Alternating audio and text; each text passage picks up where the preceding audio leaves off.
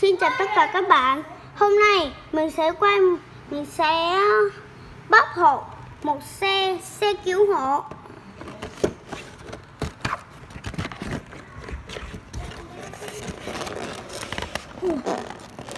Để mình mở hộ. Ông ơi, ông ơi.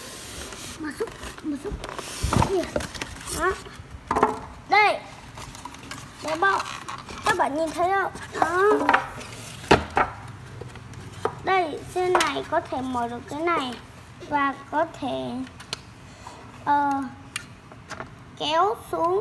Và xe này ở ngoài đời thật nó có dây để kéo mấy cái xe này lên nhưng mà xe đồ chơi thì không có nhá. Và xe này có pin đèn. Và có đèn ở đằng trước đằng sau có đèn ở đằng sau. Có thể mở được hai cái cửa.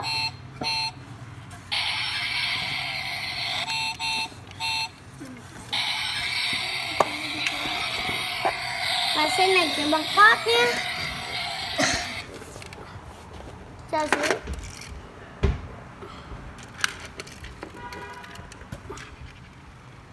thế đó.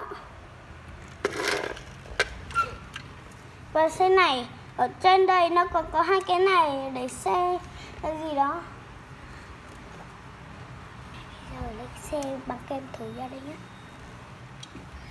Bây giờ mình okay. bây giờ mình sẽ quay ở dưới ở dưới nó có cái này để nghe. Đó. Và có hai cái này. Và có bốn bắn xe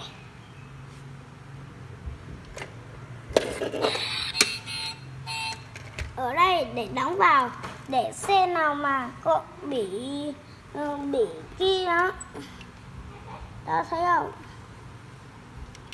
Rất đẹp nhá.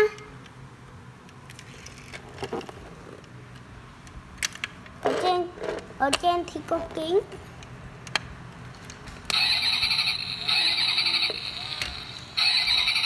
Đó. Ở trong thì có hai ghế ngồi. Đó